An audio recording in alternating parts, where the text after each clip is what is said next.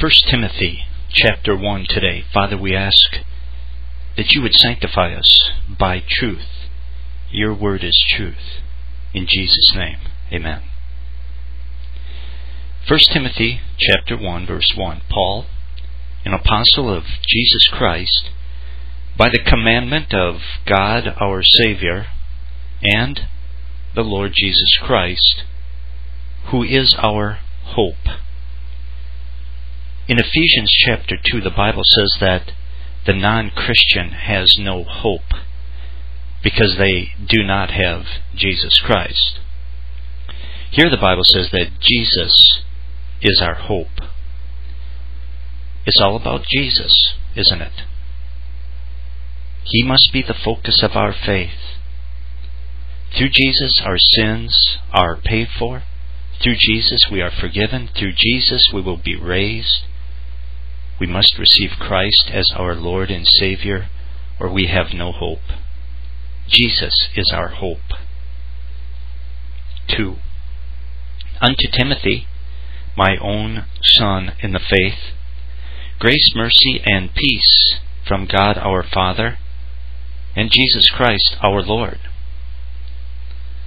Timothy was like an extension of the Apostle Paul. Of all the people Paul ministered with, Timothy was his favorite. He said, I have no one like him.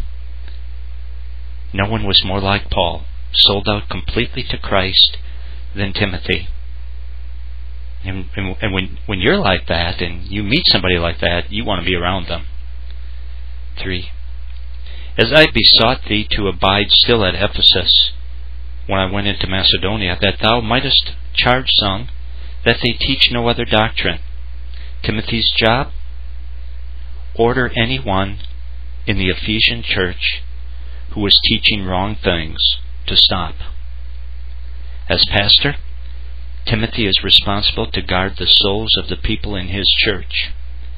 A pastor must proclaim what is correct and also expose what is incorrect, or he will have to answer to God for it.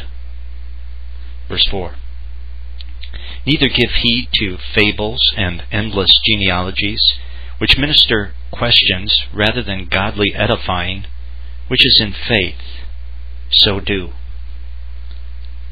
The false teachers in the Ephesian church told all sorts of stories that had nothing in the world to do with God's Word or Christian Orthodox truth. So they would they would talk about all these stories and then they would teach theories drawn from their stories and then they taught those theories as if they were facts and they argued about their theories. And it was just such a big waste of time. It did not accomplish anything for God or increase the faith of the Christians there. You know, you're better off teaching God's Word for 30 minutes than, than to speculate on useless subjects and talk about nothing for hours. Man, when you come to church, you need to be fed the pure Word of God, not get in buzz sessions about things that do not matter.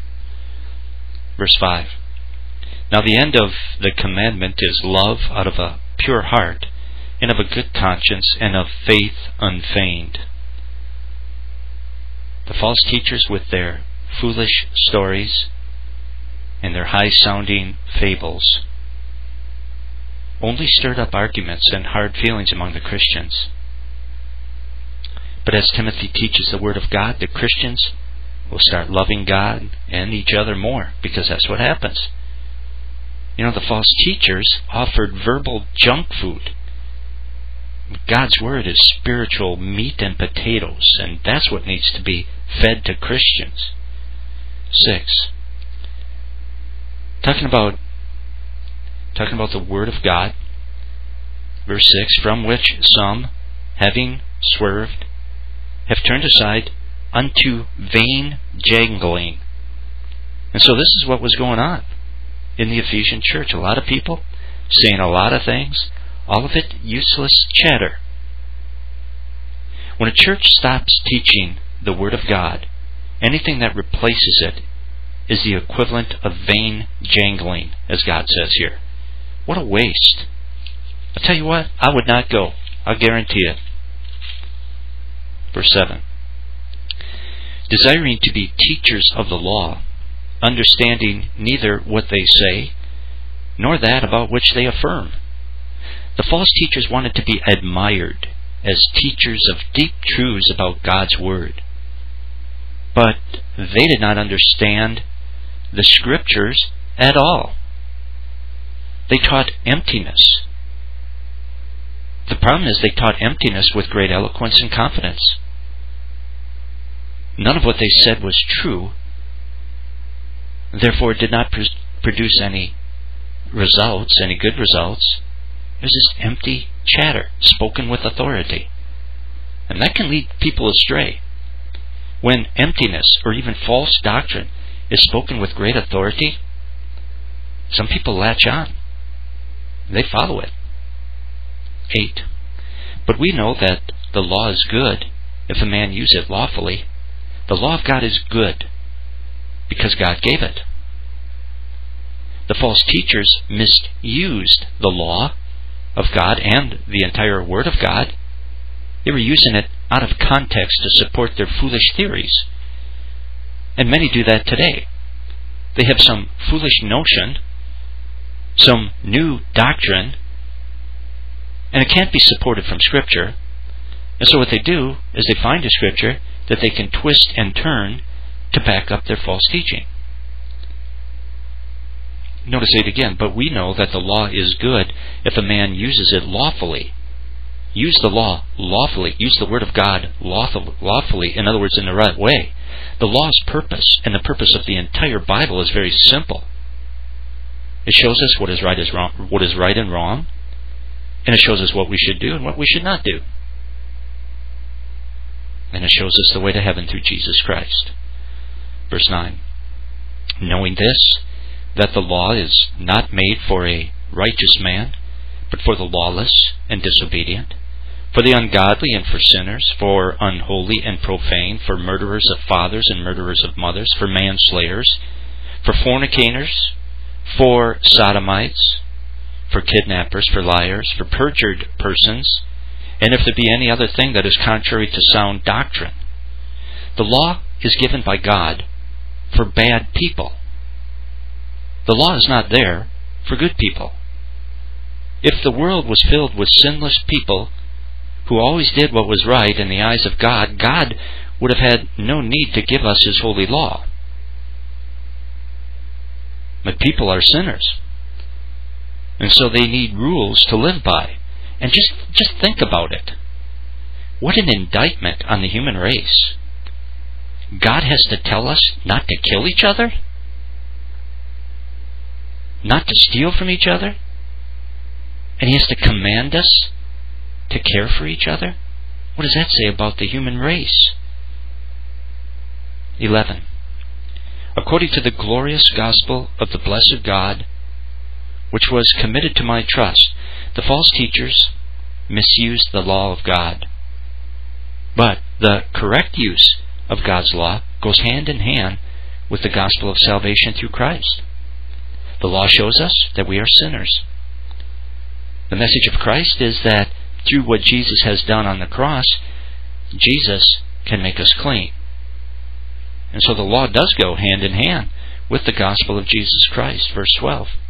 And I thank Christ Jesus our Lord, who hath enabled me, in that he counted me faithful, putting me into the ministry. Paul feels very grateful to Christ you know, he had been very sincere in his opposition to Jesus. He thought he was doing God a favor.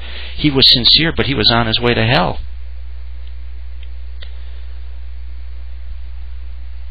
But Jesus appeared and set Paul straight and even made him an apostle. But it just goes to show that a lot of people sincerely believe they are on their way to heaven, but they are not. 13. Talking about himself, who was before a blasphemer and a persecutor and injurious, but I obtained mercy because I did it ignorantly in unbelief.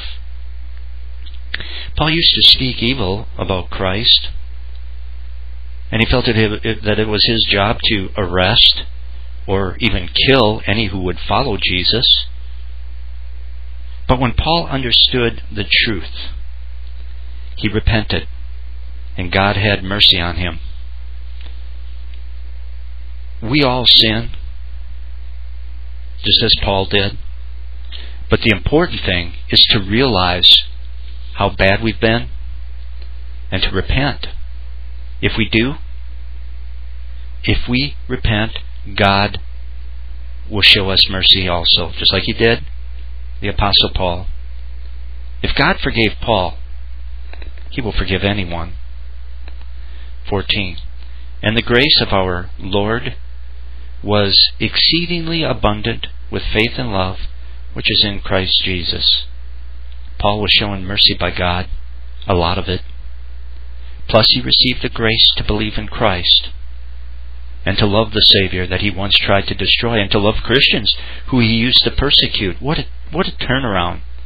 That sort of turnaround from the inside out is something that only God can do because only God can change a person's heart and those who experience what Paul experienced are very grateful to God through Jesus Christ because they realize how close they were to hell. That's why Paul was so grateful. He just thanked God all the time. 15. This is a faithful saying and worthy of all acceptance that Christ Jesus came into the world to save sinners. Stop right there. Some people say Jesus came to earth to show us by example how we should live. Well, that's true. He did do that. But his main purpose was to die on the cross and save sinners from hell.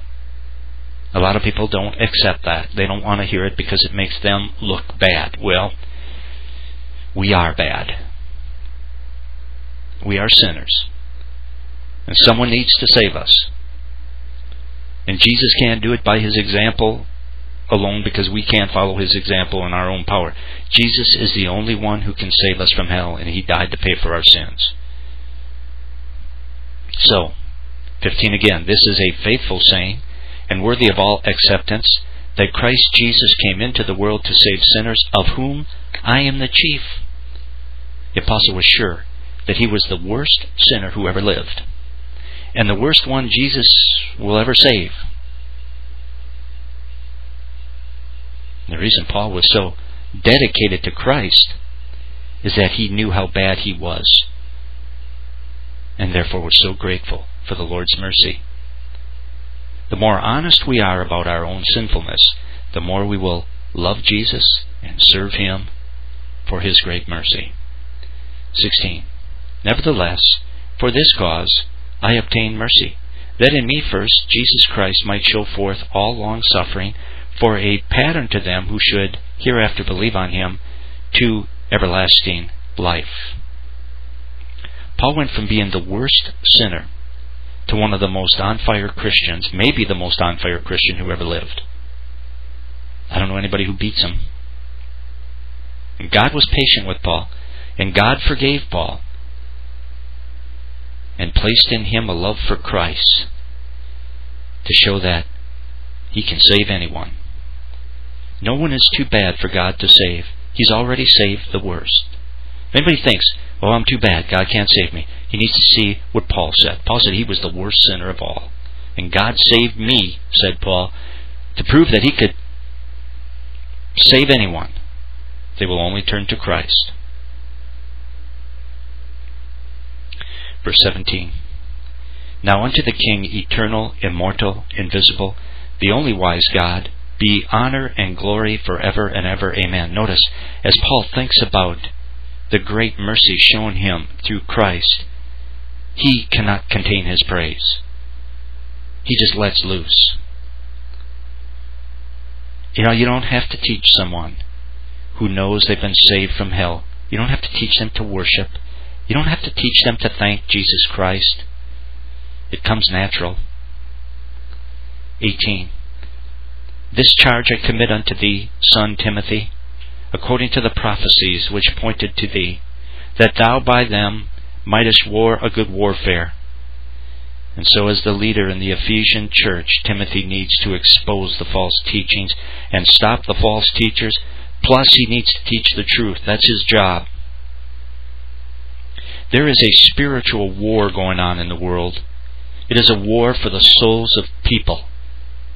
And the mind of man is the battlefield, and the weapons are the truth of God's Word and the fine sounding deceptions that come ultimately from the devil. And Satan is so slick. He has so many strains of deceptions. He has so many different types of deceptions, all designed to take souls to hell along with him. And it is the job of a pastor to expose those deceptions, which means sometimes he has to be negative. And you can't make everybody feel good all the time because it is the job of the pastor to expose those deceptions and teach Christians God's word, God's word so that they will not be drawn into this sorts of error. 19. Holding faith and a good conscience, which some, having put away concerning faith, have made shipwrecked. Our conscience really is a gift from God, but our conscience needs to be fed the Word of God so that it contains God's will and God's truth. And, and then, once our conscience is renewed by the Word of God, then we must listen to our conscience and do what it says. Those who ignore their conscience very likely will ruin their faith if they had any to begin with. Like Jesus says, even what they have will be taken away from them. The truth that they believe will be taken away from them if they don't act on it. And so, in order not to be a casualty of the spiritual war, a person must be faithful to the truth that they understand. You play with death when you willfully sin against the truth that you know is truth and you don't repent. You're playing with death. 20.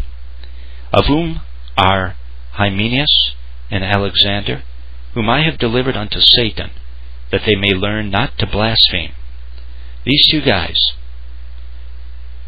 are two examples of men who ruined their faith.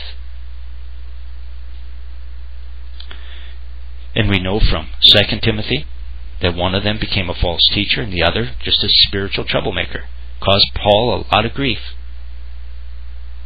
An apostle, he kicked them out of the church because they would not stop causing trouble. And he kicked them out of the church, no doubt, to wake them up spiritually before it's too late. We are to be patient with each other as we grow in Christ because we all have a long way to go. We need to be patient with one another's flaws. But when it comes to those who are an evil influence to God's people, promoting things that are not true, there can be no patience. You warn them. If they do not listen, you remove them.